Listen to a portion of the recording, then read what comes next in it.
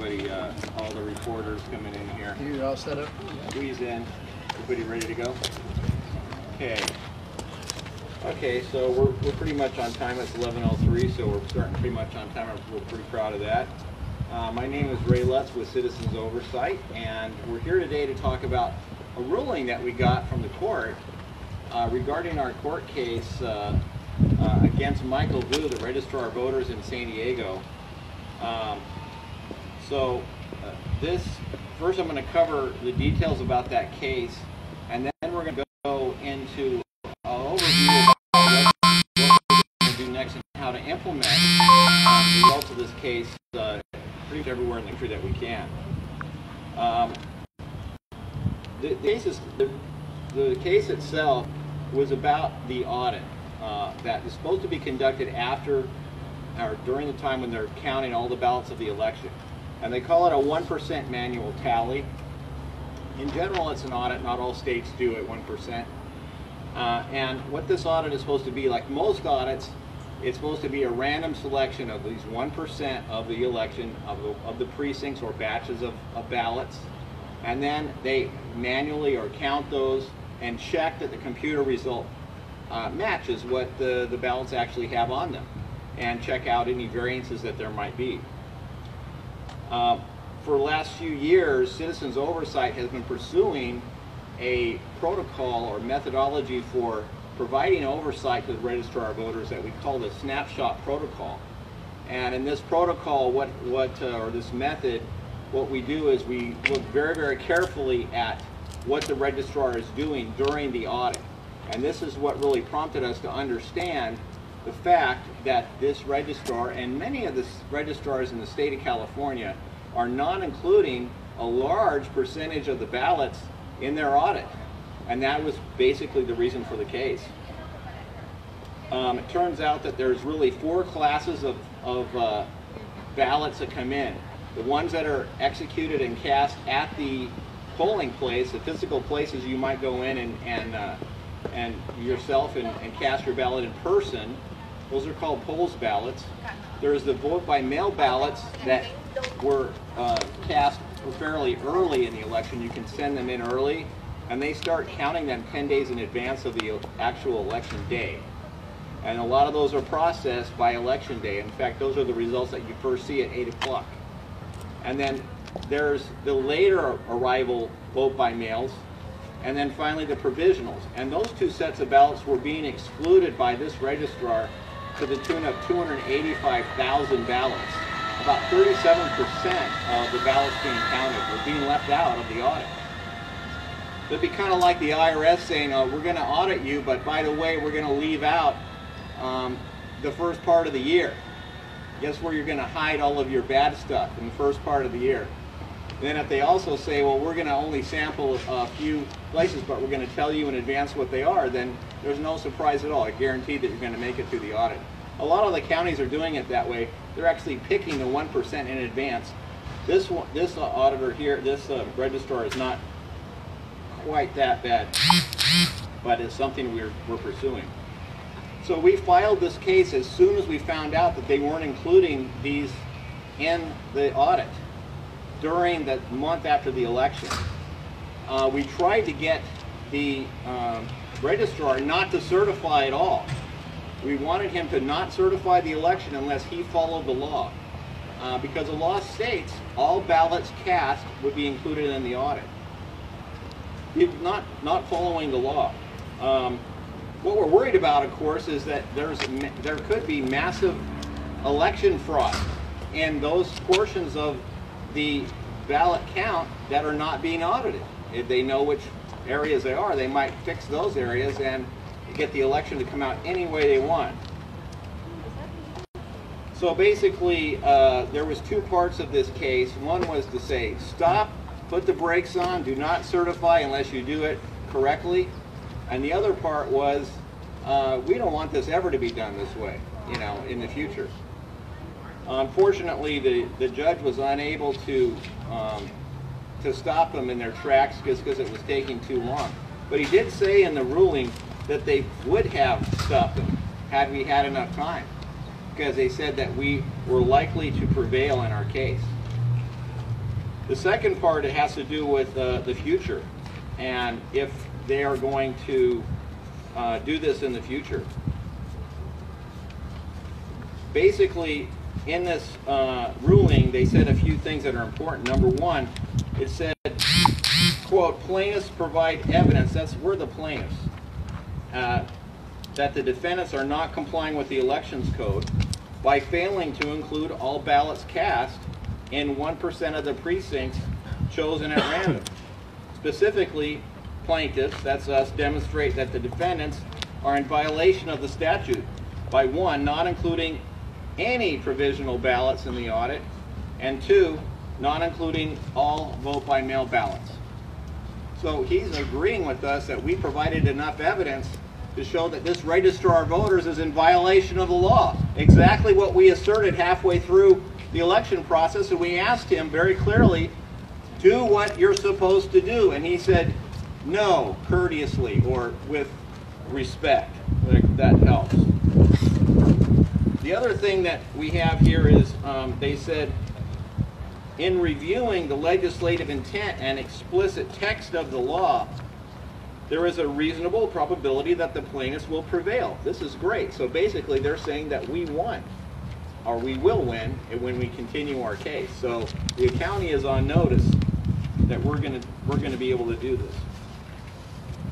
Now they threw out their various uh, rationale for not doing it. One of them said it was going to take too long, too many man hours. And the other one was it's prudent not to do it. Prudent not to do the whole thing. Well, both of those are just, uh, and the other one was all the other, many other counties are also violating the law. Yeah. And that, that was funny. Uh, of course, the, uh, the judge just cast those out without much of any, any discussion. Here's the most important thing. he said, San Diego County Registrar of Voters has a legal obligation to comply with Section 15360. It is imperative that auditing requirements are followed completely in order to ensure the continued public confidence in election results. The San Diego County Registrar of Voters is obligated to allocate its resources appropriately in order to comply with the law. If defendants are unable to do so, that's the county, they must seek redress with the legislative or executive branches of government, not the court. Basically, it was embarrassing watching this county go into this court and try to say that they were it was okay for them to violate this law. You know, this year with all of the issues with the elections, and you've got this happening. You've got a, a registrar of voters and all, pretty much all the registrar of voters in the state of California cutting corners and not doing everything that they're supposed to do to ensure that our elections are, are done correctly. So that's pretty much what he said, and I'd like to introduce now um, the attorney that's helping me with this, uh, Alan Geraci, who will now tell us uh, what what uh, what's going to happen with this case next. Alan.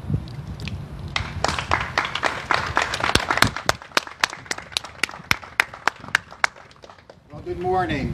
My name is Alan Geraci. I'm an attorney here in San Diego County, practicing over 35 years and very interested in this case uh, because one thing I've learned over the many years I've been practicing is that a law is useless unless there is an enforcement value to it. And Ray and Citizens Oversight has now provided us, the citizens of this county, with an enforcement vehicle uh, to make sure that the registrar of voters is doing his job.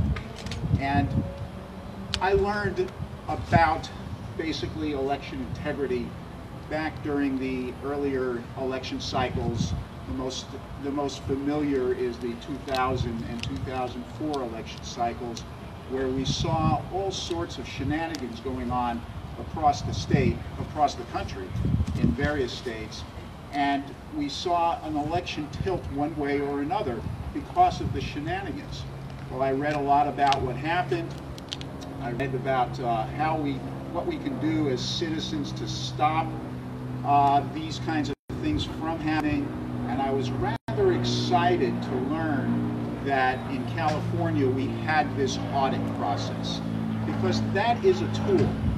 That is our only tool uh, to make sure that the elections are properly administered and if they're not properly administered to give the citizens a remedy. And this case, uh, we went to court, we asked the judge to please stop uh, this registrar from certifying the election until the audit was done properly. Unfortunately, the judge could not attend to the case soon enough to affect this past primary election cycle.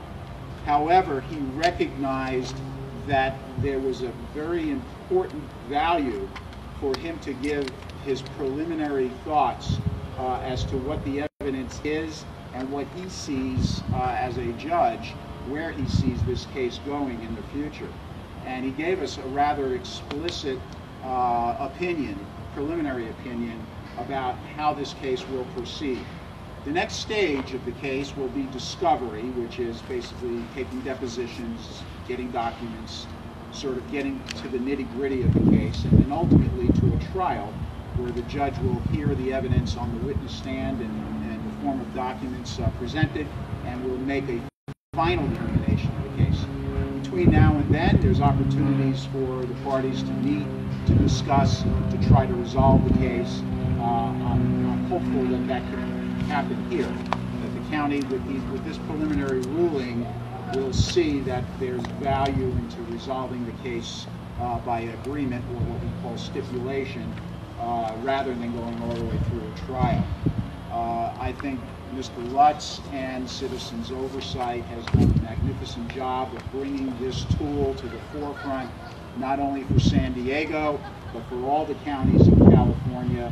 We know of at least six, seven, or eight other counties that are uh, improperly conducting the audit, and we anticipate that we'll be uh, either filing or doing, taking whatever action we can to make sure that statewide the election audit is properly administered.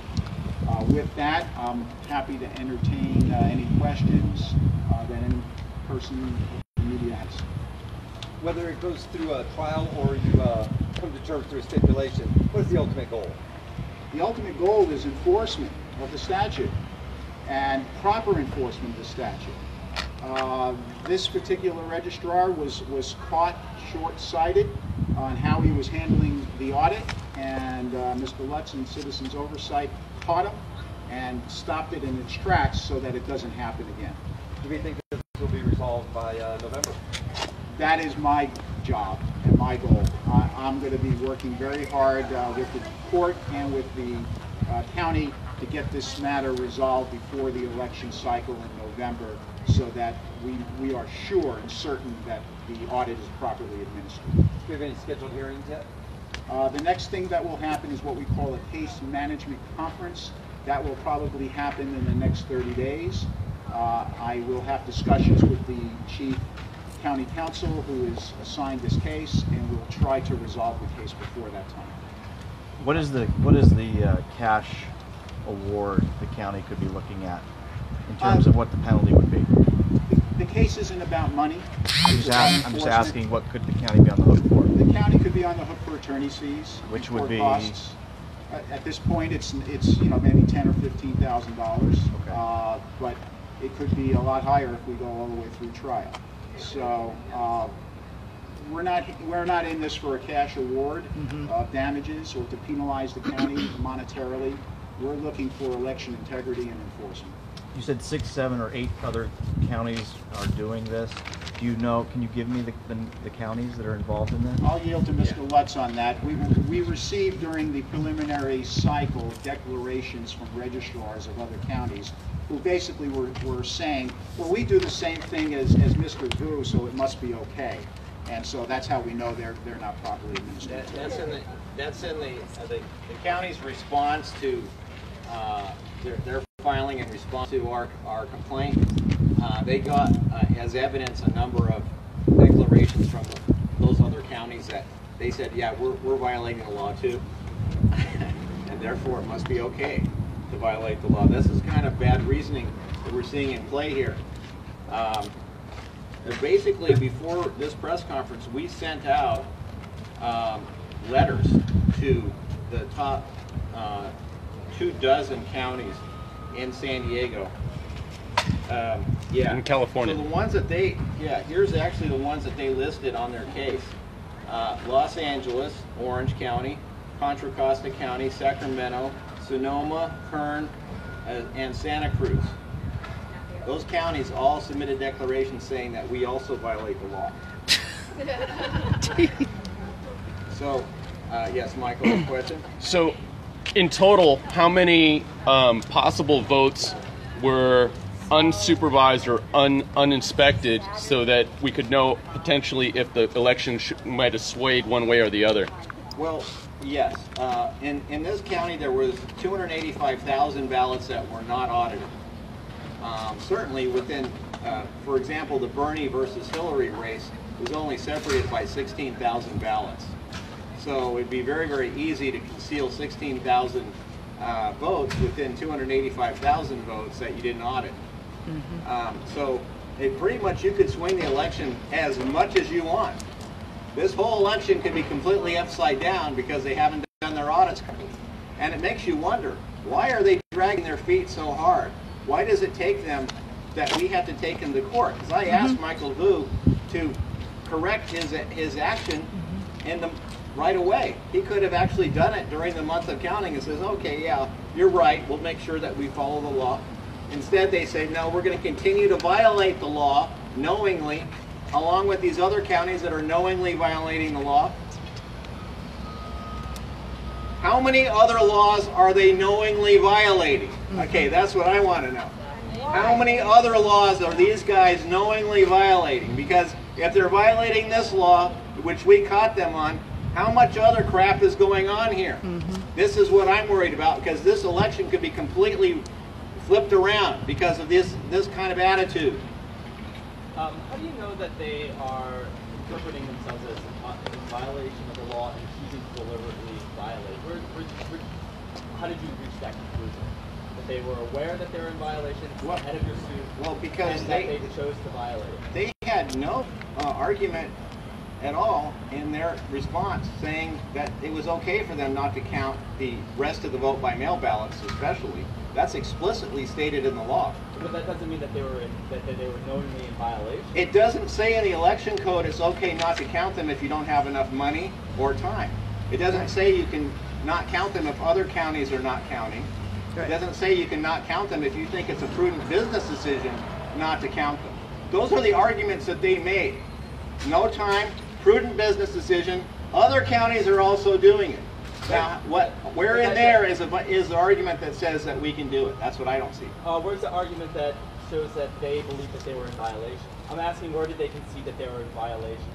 Well, no one, you ask any attorney, uh, did you violate the law? They'll say no. So how do you know that they uh, believe that they were in violation and chose to do it anyways? Here's what we believe, the judge just said I- that I they're in violation. What else more do you want? But you said that they, that you, you said that. They- the prior to judge this, said they it. Knew they were in violation. It doesn't matter anymore what they say. The judge says it. Okay, so I'm saying that you don't have anything before that where they conceded, before this ruling, that they were in violation of the law. They knew that they weren't fulfilling the law. Where did you reach that conclusion? I asked Michael Vu to count all of the ballots. He said, respectfully, I declined to do so.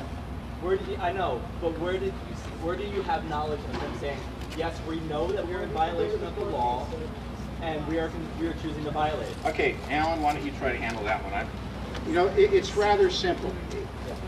They, by way of, before the lawsuit was filed, declined to do the full audit. We filed the lawsuit, then they responded to the lawsuit by simply stating that they didn't have to fully comply, that their substantial compliance was enough. Now the judge has spoken, at least preliminarily, saying, no, your substantial compliance, even if it's true, is not enough. You must fully comply with the full spirit and intent of the legislature. Oh, I got. So substan- they believe that they were substantially compliant. They did believe Gotcha, that. okay. Mr. Lutz, do you, a couple questions. Do you think this is more of a statewide push, or do you, do you sense that this had a, a big impact on local elections as well?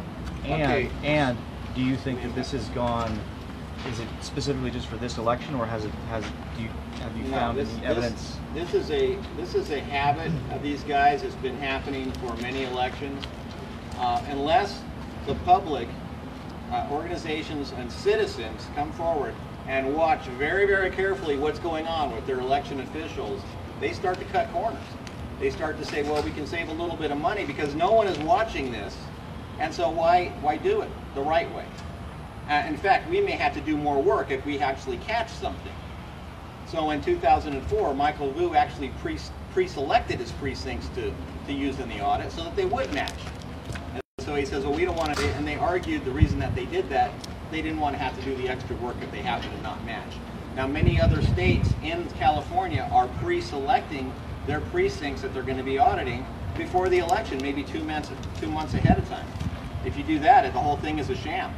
Uh, anybody who knows what those precincts are can fix the election at will, and they'll never be caught because they know what the, the audited precincts are. Uh, in terms of the implications, this could this could impact uh, not only San Diego County because, as I, as we said, San Diego is a very. It could also impact just if this is the only one, a very big county in in California in terms of number of voters. It's number two.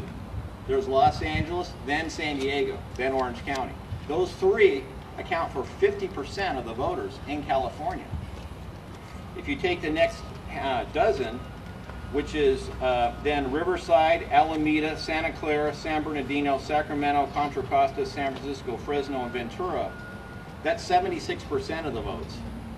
And the next dozen, San Mateo, Kern, San Joaquin, Sonoma, Stanislaus, Placer, Solano, Santa Barbara, Monterey, San Luis Obispo, Marin, and Santa Cruz.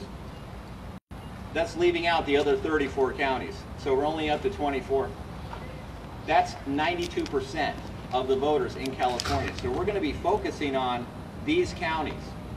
And what we're actually, in the second part of this uh, presentation, if you will, I'll just move into it now, is that uh, the larger implications is that we want to ask the citizens of California and the rest of the country to work with us to uh, preserve our democracy. This is where we really can't rely upon any elected official to do it for us. We have to be the ones that watch this registrar of voters and how they do it. Uh, the media doesn't do it to this level because it's too much work to go in there and, and do it. The citizens have to go in and watch in very careful detail.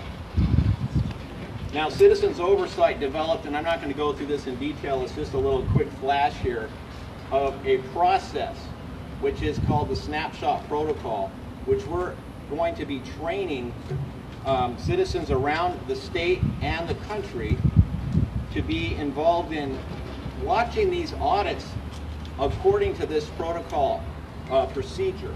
And if we follow this snapshot protocol, then uh, these audits will be um, able to catch uh, malfeasance, and therefore it'll give us a sense of um, a much better um, feeling about what these guys are doing here. Because right now, there's a lot of talk about, well, we're not sure if the election was rigged. Well, you know, those feelings are well-founded with this type of attitude that this registrar has been displaying. Well-founded. All those concerns are well-founded that that uh, it looks like the top two to dirty dozen, top two dirty dozen in, in California are also violating the law. Across the country, there's many states that are not even doing an audit, but we're looking for uh, the top 24 states to be involved in this especially. Now, California is the biggest state in terms of number of voters in the nation.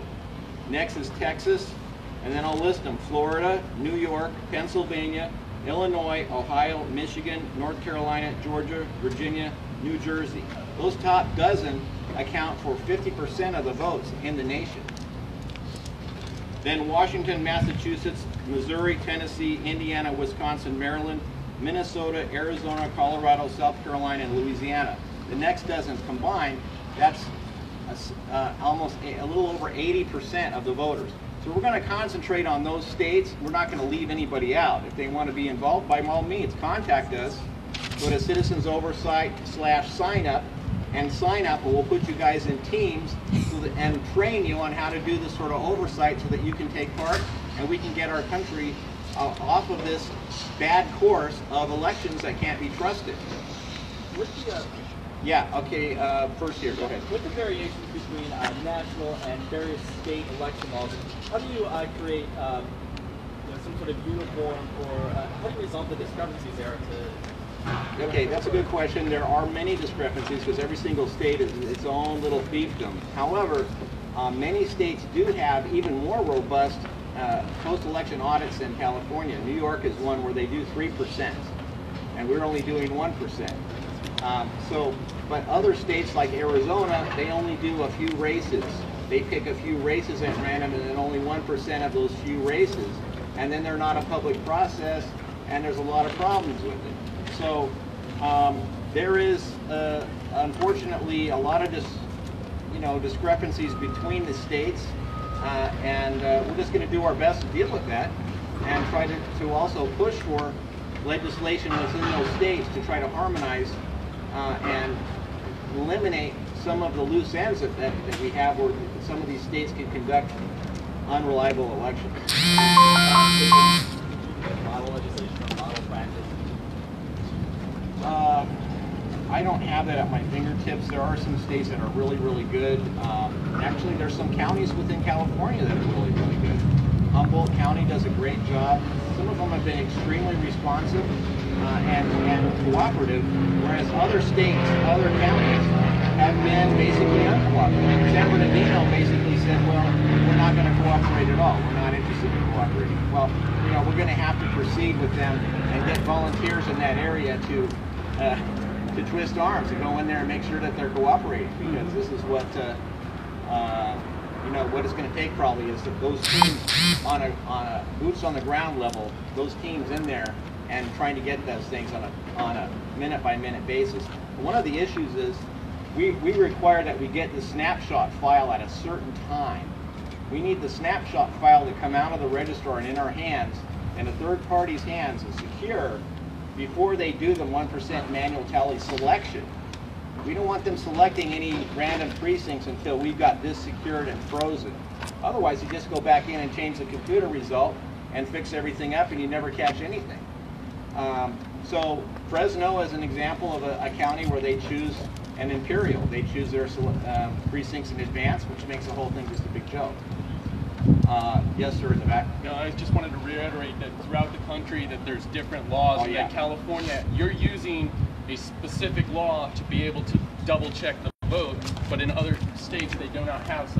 Well, they, there's a lot of them that do. It's, um, there's a site, uh, online that, that, uh, that it's called, it's typically, it's in Minnesota of voter rights. I don't know why Minnesota gets this, but Minnesota is one on the forefront. And they have a whole site that details every single state and what their laws are and how they, how they measure up. Uh, but we, we're gonna be generating a best practices uh, for how these audits are to be performed so that we can go in in there and see, gee, are they, are they meeting the best practices of what they should be doing in our view? Um, because there isn't, unfortunately, the Secretary of State, Alex Padilla, has been completely sitting on his hands on this. He has been defeating the efforts of uh, um, the, uh, those concerned about election integrity from actually completing their work. Another concern that we've brought up, people wanting to contest the election don't have time when they have these conventions that happen immediately. Where- Where is the time to actually go to court if something happens? They say, well, it's already done. Hillary Clinton has been nominated, Donald Trump has been nominated. Well, wait a second. We haven't even finished talking about this malfeasance going on here in the registrar of voters. Maybe it isn't true that Hillary Clinton won. Maybe Bernie Sanders won in California, and that would really change things. Because with 285,000 votes up in the air, and we are not sure how those really fell down, we heard about also whiting out ballots, changing the marking on ballots, and um, other things that we're very concerned about. How, do you, how can you do that? These ballots are supposed to be sacred. You shouldn't be changing them or whiting them out without oversight, checks and balances to make sure that it's done properly. That's not being done here. I asked him, is there any checks and balances? He says no. You just have to trust the people doing it. Okay, so I'd like to encourage people, before we move on to other speakers, uh, to go to citizensoversight.org slash sign up and sign up there for your district and tell us where you are so that we can chew in teams and for November, we have less than 100 days here to coordinate. Plus, we have to start in advance of the election because of the vote, uh, vote by mail ballots have to be coming out. We have to be watching as those are brought in, as what they're doing with them and how they're counting. So we need to be in there at least 30 days, but at a minimum 10 days before the election. We have to be have our teams deployed and trained to uh, to watch. One more thing. Uh, Yes. What's your take on uh, Trump's statement from the other day that uh, the election is uh, likely to be rigged? Well, I think he's right. Um, I think Donald Trump is right on this. Uh, uh, the elections, as we're seeing here, have been rigged, uh, at least to the extent where the registrar of voters is looking the other way, not doing their full job. And if somebody wanted to hack in there and change it, we're talking about hackers from Russia and so forth uh, getting into the DNC and all this computer stuff. Hey, guess what? With 285,000 votes out, they could have done a lot of uh, a lot of damage.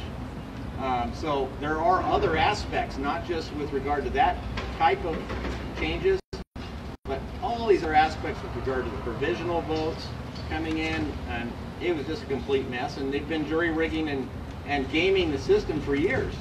They've been trying to make it hard to register, hard to get to the polls, hard to get, get your vote counted. Everything's difficult. And they figure, well, we make it difficult, it'll be easier for us to win. Now, for Donald Trump, I don't know how that would work out for him, but I think his statements is in regard to Bernie Sanders, and a lot of the Bernie Sanders supporters are are feeling the same way. They and we we saw it also in that uh, the early vote by mail ballots, the ones that came in first. Hillary uh, Hillary Clinton won by 58 to 42 percent. But in the polls ballots, people that actually went to the polling places, it was the other way around.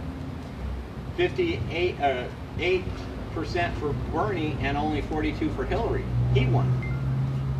The trouble with those early vote by mails, unfortunately, citizens oversight, we fell down on the job here.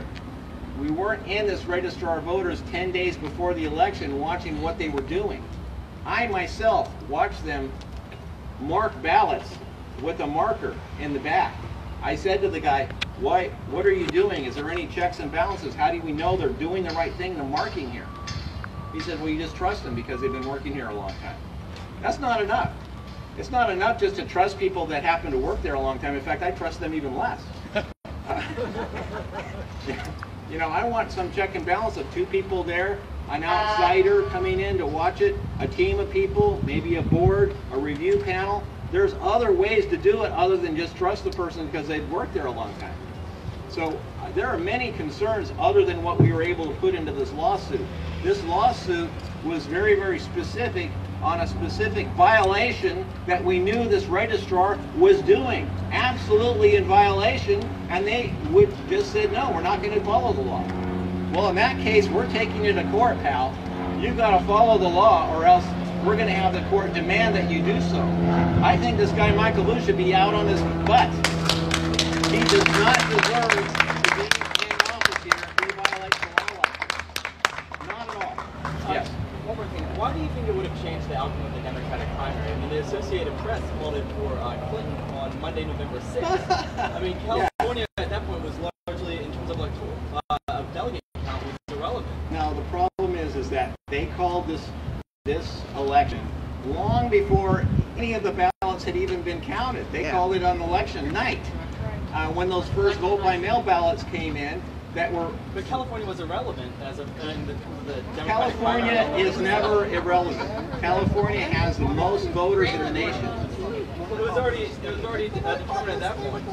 I mean, she already had uh, no. contested. Why would that have mathematically changed the outcome? First of all, first of all, uh, I'm, I'm, I'm challenging your claim that it would have changed the outcome of the Democratic primary. I- that's not something that I'm really going to weigh in on.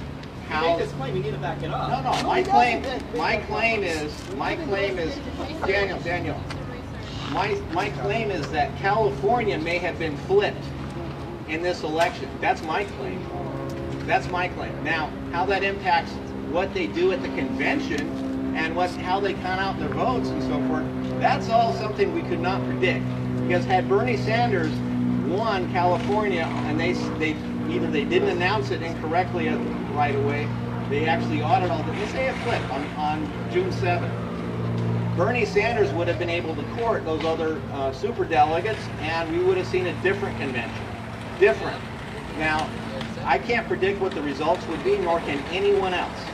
But I think that it's only we're only doing our job if we make sure that those ballots are counted correctly and we get our audit done correctly so we know what the outcome was going to be. Not say, oh, it's okay for the election to have been done poorly because the result was not an issue. That never should be the argument, and I will never allow that. The- These, these, all these ballots should be counted, and they should not be put under the guise of California is meaningless, your vote is meaningless because they've already decided it. Those are all bad policies anyway. Now, uh, any more questions from the media for me? Yes? Well, I had, I had a question on Facebook Live, Ray. Okay, Facebook Live. Um, somebody asked about uh, the shredding of the ballots, how that's going to be addressed. Okay, well, the shredding of ballots, we uh, got that information because we saw the shredding truck out in front of the registrar of voters one day when we had our press conference. It happened to be caught with some of the pictures in the background. We asked them why you had a shredding truck there. Michael Vu uh, said he's not shredding anything the registrar. Unfortunately, the trustworthiness of Michael at this point is is not 100%. So we, we still are looking into that. We're trying to find out and get, we've asked for the manifest of materials. What was shredded, was it from this election or another election? But, you know, basically, it's just a bad idea to have a shredding truck drive up to the registrar voters during the time when you're counting the ballots. It's Yeah. just a bad idea. So, you know, the county should strive to avoid driving shredding trucks up to the, to the register of voters in the future. Uh, I- Whether we get to the bottom of what was shredded, uh, it's very hard because those shredding companies uh, pride themselves on security and never ever knowing what, what was shredded and so forth. But we're gonna we're gonna look into that, and if we continue with this case, I mean, we're looking forward to these depositions. We're looking forward to having Michael Vu have to testify. We're looking forward to interviewing all those people in there and finding out exactly what went on during this time. And we're gonna, we, I think we may not want to uh, negotiate with them and just go forward with trial and go through with these depositions. And that's why it would be great if we could get uh, a, a plea here. I'm going to need to ask for donations from the public watching this so that we can fund this sort of legal activity.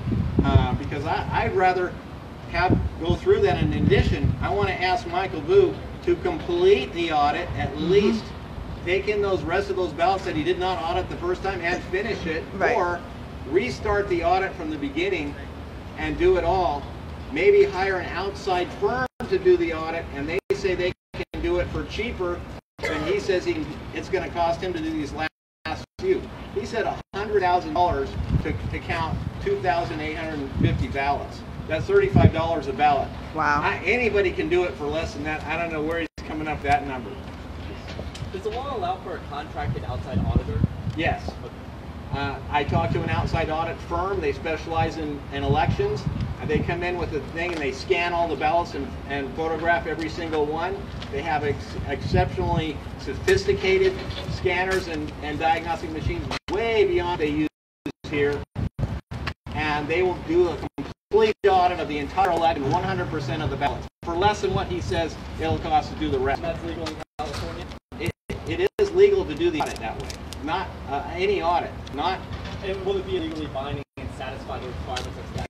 that's going to be something where we can negotiate. I don't think they can use that in their uh, in their future elections in terms of doing the man- manual tally because that is specific manual tally. voters? But it would be good if they could. I think it'd be better to use an outside firm to do the audit because then you got a you got an outside check going on instead of insiders. I got you, but it's not like, you know, when they have to do the, the audit, they could theoretically from this point forward contracted out and it would be in compliance with law. I don't think that that's compliant at this point, but it's something we can investigate. Now, any more questions on this aspect from the media out here or anyone else? Okay, now what I'd like to ask is if Dewana uh, would like to say some things. This is Dewana Bain. She is an attorney working on some other cases. Can you give us the update on that. Dewana? Thank you. As Ray said, my name is Dwana Bain. I've been working with Ray Lutz and Citizens Oversight and Bill Simpich in Northern California on San Diego County's lawsuits and also in San Bernardino County. And we are concerned about what happened to the votes all over the state of California. Michael Vu is the epicenter of what went wrong in California. But I have something to say to the reporter that was just speaking with Ray Lutz. You, sir, when you called California irrelevant, I say no state in this nation is irrelevant, and I mm-hmm. am a person who was born and raised in California. This is my state. This is the biggest state in this nation. Don't you dare call this state irrelevant. All right, take a breath here. we are still trying to figure out what happened to your votes, California. All right? Now, no one thus far can tell us. Michael Vu certainly cannot tell us. And this ruling by the judge that says that Michael Vu and the Registrar of Voters did not properly audit the votes. Again, that, that dovetails directly into what we were talking about with this election contest, where we said that Michael Vu committed misconduct because, among other things, he failed to properly audit the votes by not counting the provisional ballots and the late vote by mail ballots. Some of the other things that we believe that Michael Vu did wrong, or the registrar's office that is overseen by Michael Vu did wrong, is fail to count the college student votes. We are aware that a number of college students cast votes. Those votes were put into provisional envelopes. We don't know what happened to them, but we believe that a number of those votes were set aside. We don't know how many of those votes, but San Diego County is a very big county. We know that it happened at least at San Diego State University. Michael Vu believes that at San Diego State University, the students who live on campus should have their votes put into provisional envelopes for some reason. We're still trying to sort that out. And we're still trying to sort out what happened to the votes on the other end. We do know that the San Diego Registrar's Office has a giant warehouse of some sort. So we're very concerned about the custody of these ballots and what happens. We understand that these votes are dropped off or were dropped off at this warehouse. We don't know who oversees those ballots. We're very concerned about the custody of those ballots. Uh, of course, there was a great amount of confusion with no party preference voters. So in a mm-hmm. county where the difference was, what was it, 16,000 votes? Between, sorry, between Yeah, that was the final difference between Bernie Sanders and Hillary Clinton. so there's a very small number of votes separating the two candidates in the presidential primary. And at this point, it's very hard to determine who the actual winner was San Diego County. But there's enough evidence of misconduct and misplaced votes and lost votes that it is the belief of many people in this county, including me, that Bernie Sanders was the probable winner. We're mm-hmm. going to find out. We won't stop until we find out what happened to your votes. We won't stop. And I just wanted to add that uh, I agree with Mr. Lutz here. You know, Helen Robbins Meyer, Michael Vu's boss, said after listening to voter after voter at the San Diego County Board of Supervisors meeting, say, hey, there was whiteout used on our votes. You know, all kinds of hell broke loose on election day, and they wouldn't let us observe what happened. We know that our votes were whited out. Helen Robbins Meyer said, Our registrar is not a criminal. He is one of the finest registrars in the county. We stand behind him 100%. Okay, well, they're going to stand behind him 100% as we continue this lawsuit and as Alan Geraci continues his lawsuit, as we find out what happens to those votes. I hope that the county is proud that they have stood behind this quote finest registrar in the county. country. In the country. Oh, I'm sorry, in the country, that's right. That's right. This finest registrar is the same registrar, I would like to remind you, that was run out of Ohio. Mm-hmm. Because his employees were caught for election-related crimes. So forgive me if I don't have a lot of faith in the integrity of this registrar. But when our votes are at stake. We take for granted that we go in and we vote and that our votes matter. And we don't even know what happened to these votes. I am very, very concerned about the way that the county is standing behind this registrar. But, all due respect. thank you. uh, Chief Dewana for those comments. Uh, I just want to close now with a couple final remarks about uh, the future of this. Again, we want to uh, reach out to those citizens that are also similarly concerned about how our elections are being run. And please come to our website, citizensoversight.org slash sign up. Sign up uh, on the site, tell us where you are, which election district you're in, so we can get you started and train you about how you can provide the similar oversight and catch the stuff going on in your area. Because it's going to be different in every area, but these register, these election, election officials are all basically out of control. They're all out of control. Uh, also, I'd like to remind you that not all of these activist groups that are that are doing, uh, you know, election integrity activism are legitimate. Uh, some of them are working on things like voter fraud, which is a, a somewhat of a hoax, uh, very much hoax. And so, watch where you're you're sending your money. Of course, we'll take it. Go to citizensoversight.org slash donate. At least you know that we're the organization that's actually pursuing these bad boys here with our lawsuit and, and taking them to task. So uh, that's my last comment. Any final questions from anyone in the crowd? Yeah. Yes, um, sir. I, I looked at 63 polls before the primary, and uh, Clinton won uh, 60 of them. Why do you think that the election would have, the, results did not reflect uh, everything that was polling? before? Well, uh, uh, you know, I can't really talk to the polls. I do know that that uh, there was a. I I could look very simply at the crowds.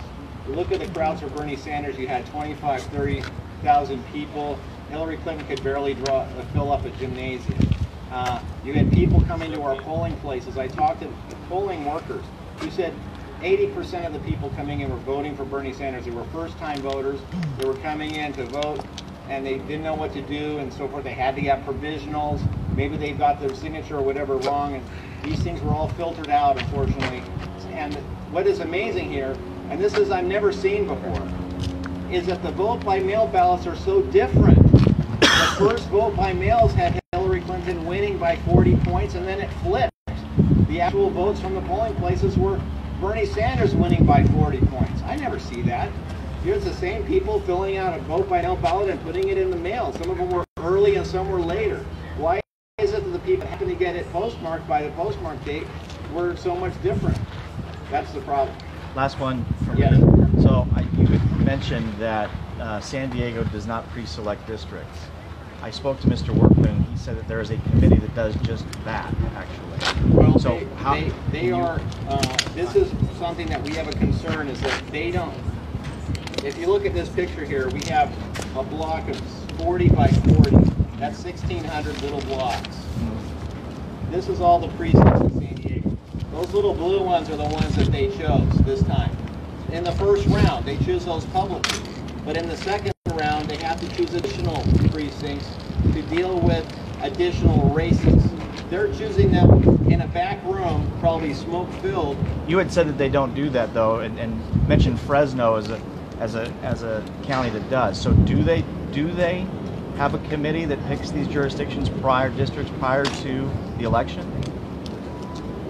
No, they, they're not picking it prior to the election, but the issue is whether it's a surprise the people inside what they are. And the ones that they're picking in Fresno, they're choosing randomly before the election. And they're not doing it by committee, they're doing it by random draw of ping pong ball or something. But it's a random process, it's done publicly, but it's done in advance, and then they publish it on their website. And if you're a hacker, you just go to the website and say, okay, I'm not going to modify those precincts. You go in and modify the election it will, and you can you can change it as much as you want. Twen- 10, 20,000 votes.